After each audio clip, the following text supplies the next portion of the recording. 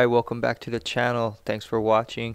We'll be going over the Oshkosh Striker today and the different uses that firefighters have for it. So here's in the cab alongside with what the truck is doing. So this truck is basically as I'm pulling back on this lever, I'm holding down one button with my thumb and pulling back raises the boom. So you can see it's doing exactly that. Now if I hold down with my thumb and go left, you're gonna see that extends the boom. And vice versa, if I held the button with my thumb and went right, it would retract it. And then if I held it up, it would bring it back down.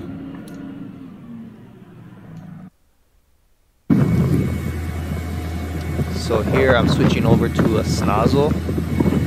So that would be if we had like a cargo fire.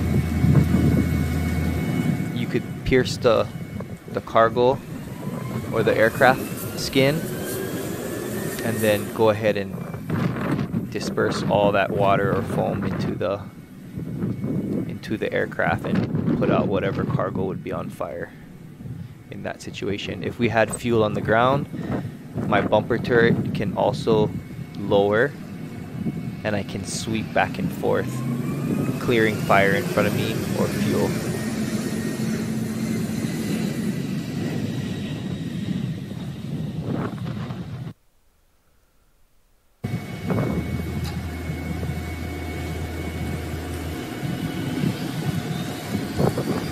So same thing here. Retracting, you use both buttons.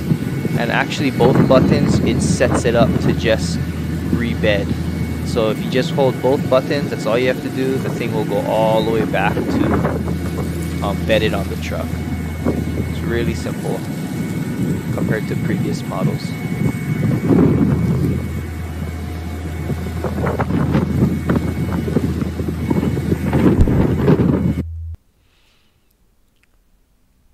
Um, so here is some footage from on top of the on top of the roof. So you can see the boom here. And um, this would be if I hear some specs. So Oshkosh snozzle 54 feet height.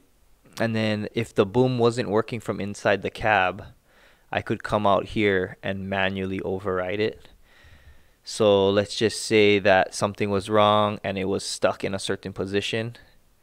I would have to come out here and get it back into the bed the manual way. And then here is um, the close-up of the piercing tip nozzle. So it's made to unscrew and we have used it with um, for like elevated, um, let's say you have a second floor um, at the airport, you could raise up this boom, connect the inch and three quarter line, and use it as like a elevated waterway.